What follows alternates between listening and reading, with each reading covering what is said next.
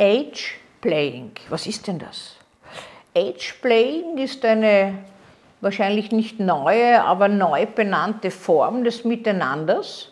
Da gibt es Portale, wo man sich treffen kann und Mutter und Kind oder Vater und Kind spielen kann. Da treffen sich zwei, weil eine sagt, mein wahres Ich habe ich nur mit zwei Jahren. Und dazu gehört, dass ich gewickelt werde, dass ich gestillt werde, dass man mich streichelt, liebkost, badet, wäscht und äh, schaukelt. Und ein anderer ist erfüllt, das zu tun. Er wollte immer schon Kinder haben, hat sie nicht, hat sie jetzt in einer erwachsenen Partnerin, die er äh, für eine Zeit lang trifft, gefunden und kann die betreuen. Das geht natürlich auch umgekehrt. Es gibt auch Paare, die das leben, zum Beispiel, dass Frauen ihre Männer stillen, dass Frauen äh, ihre Männer als Babys äh, befürsorgen und füttern und nähern und diese Männer dann auch äh, wie ein Baby sich verhalten. Umgekehrt gibt es das genauso, das kleine Mädchen und der Papa. Und man kann hier frühe Defizite fühlen, so heißt es.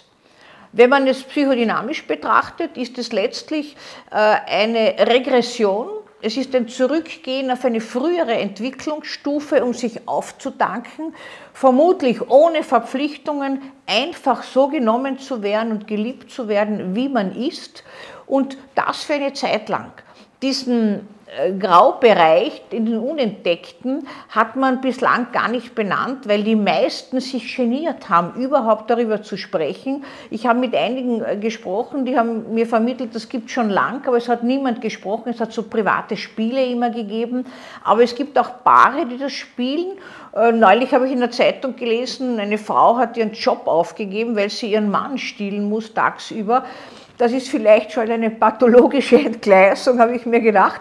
Aber es gibt genügend Männer, die das sehr genießen und die das auch wollen. Dass man daraus einen Hauptberuf macht, ist, glaube ich, nicht so sehr gedacht dabei. Aber es zeugt ein bisschen auch von der Sehnsucht, ein Kind zu sein, endlich nichts mehr zu müssen, nicht mehr leisten zu müssen, sich nicht anzupassen. Und das ist entdeckt worden in einem Portal, wo man sich anmelden kann. Man kann sich für eine halbe Stunde, aber auch für einen halben Tag einen Partner oder eine Partnerin mieten, die einen wickelt und badet oder die einen stillt.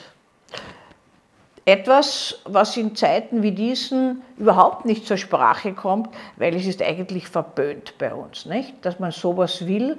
Äh, es heißt gar nicht, dass man zu kurz gekommen ist, sondern man möchte wieder in diese Zeit zurück, ohne Verantwortung, einfach Kind sein.